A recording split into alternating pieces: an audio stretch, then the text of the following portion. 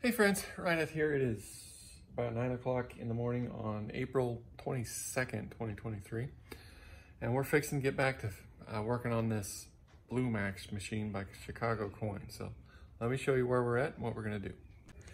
All right, so previously on, we finished building all the parts and pieces for the new back box because the other one is in this trash bag right here, having been completely destroyed by termites. Um, so we got all the parts made to replace it for the light board in the back box.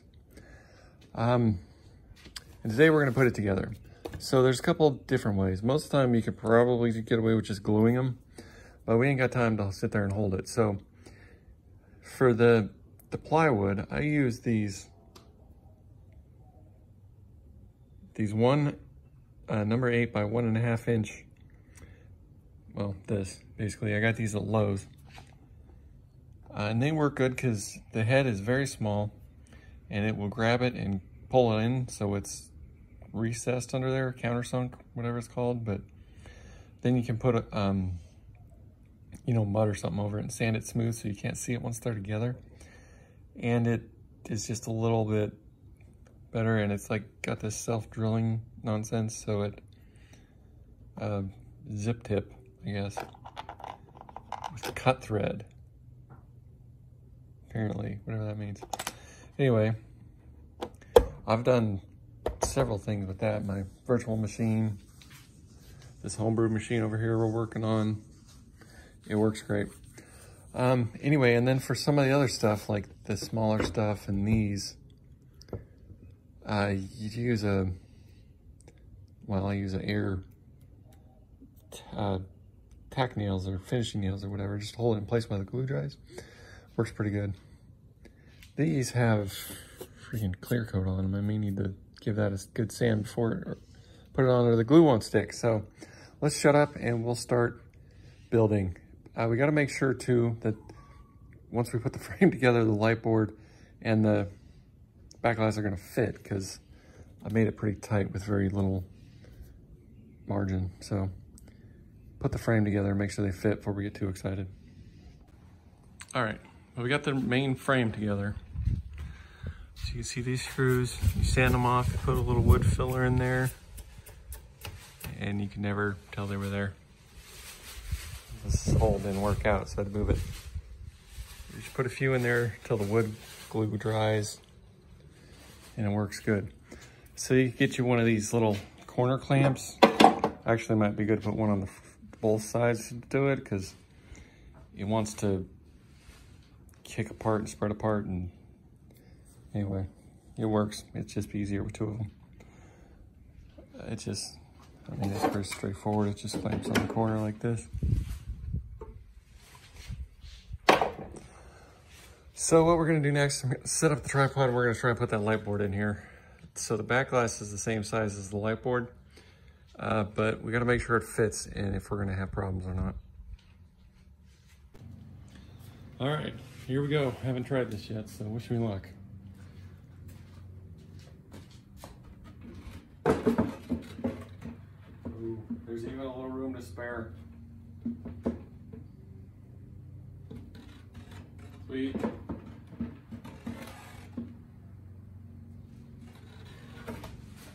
All right, so verify. Back glass without the channels on it is 26 wide, or 26 and a half wide and 23 and a half tall. Yeah, so this is 26 and a half by 23 and a half, so we're good. All right.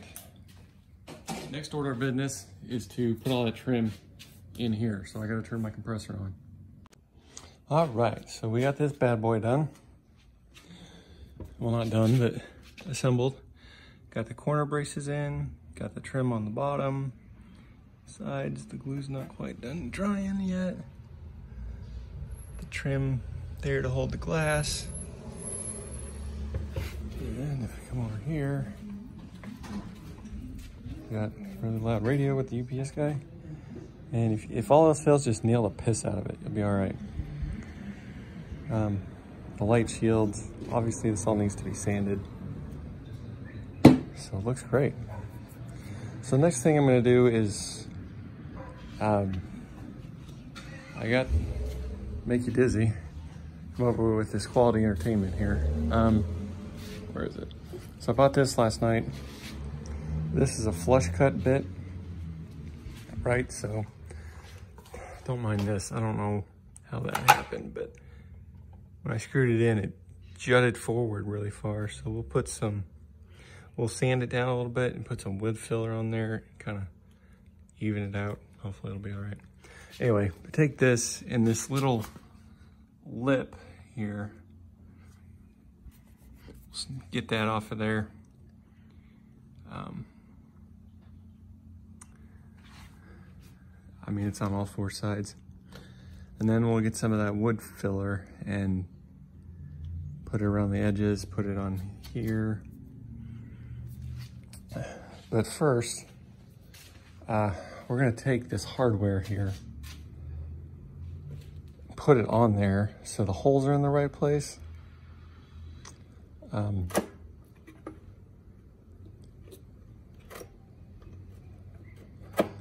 and then take it back off so that I'm not trying to like scratch the piss out of the paint after I paint it, right? And we'll also put the light board in there so the holes in the strips are good. And then if I come over into the dark hole of my life, uh, when I bought that game, it came with this back door.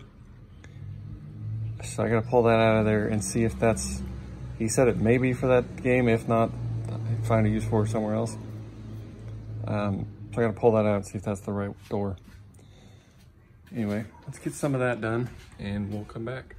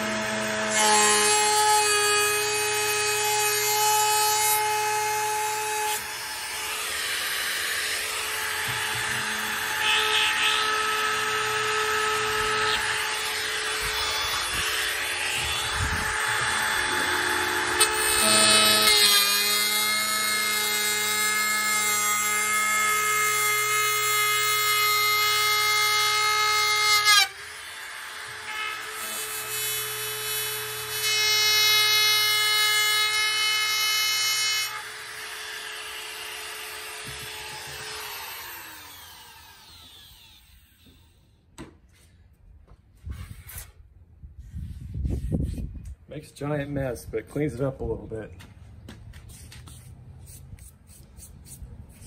You clamp it down. Got them in there.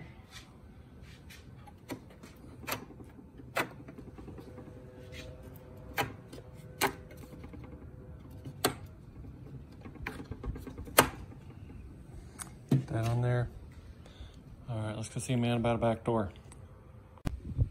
That is indeed the correct door. It does not have the lift channel, uh, or the bottom channel on there. So I'm gonna make one if I have the right material, but it needs a longer lock. I mean, it locks, but uh, it needs to be a little bit longer to go in that groove. All right, so I'm gonna go see. I've got a,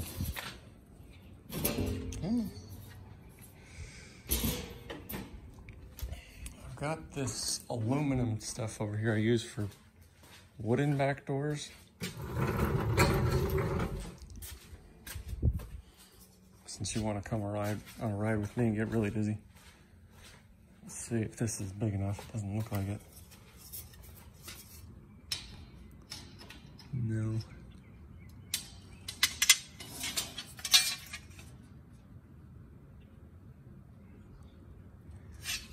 So this is, come on, half inch plywood. I guess I need 5 eighths, probably do it. I think they only make three quarter, so that's a bummer. But at least we know we got the right door, right? So put that on the list for next time we go to Lowe's. All right. Got that bad boy on there. Looks good. Glass channel looks forward of everything. It's not gonna be riding on the, uh, the wood. So now we'll take it back apart, sand her down,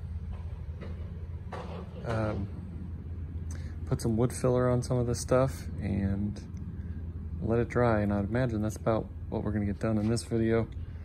Uh, takes that wood filler a while to dry in Houston because it's so damn humid. Anyway, you break out the sander and we'll see what we come up with. All right, well, I put some wood filler around the edge here and you sand it because if you don't, you'll be able to see the damn plies through the paint. Uh, at least I kind of do.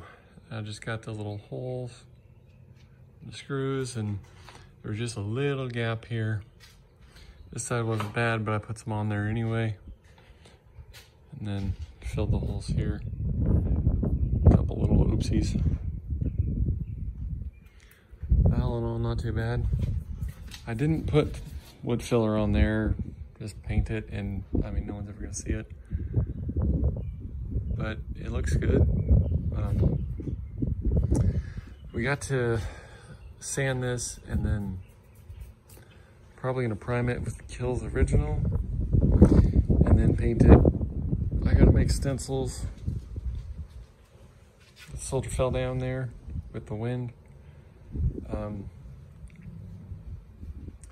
yeah, I gotta sand it, gotta put primer, gotta make stencils, and I got to get the body out of the mess in the bedroom, bring it out here, strip it down, see what I need to do to it so that we can paint them at the same time.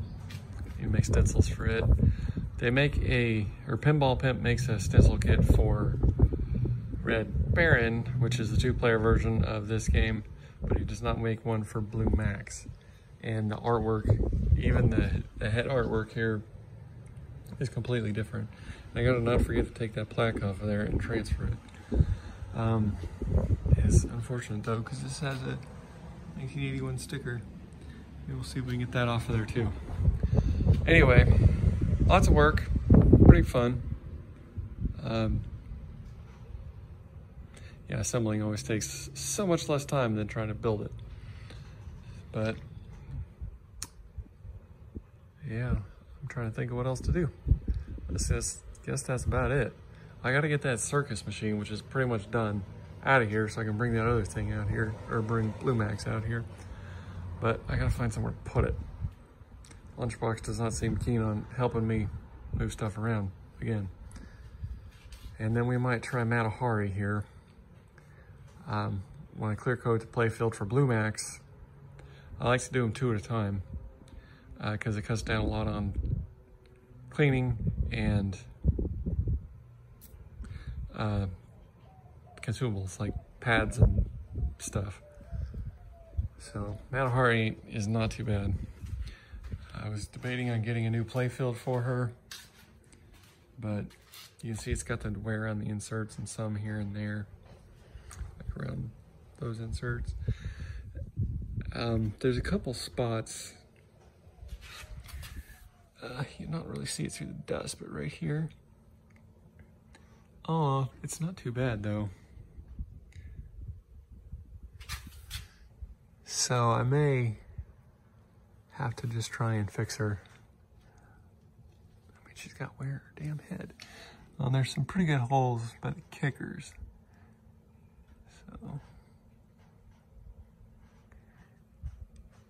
I don't know. I haven't looked too close at her.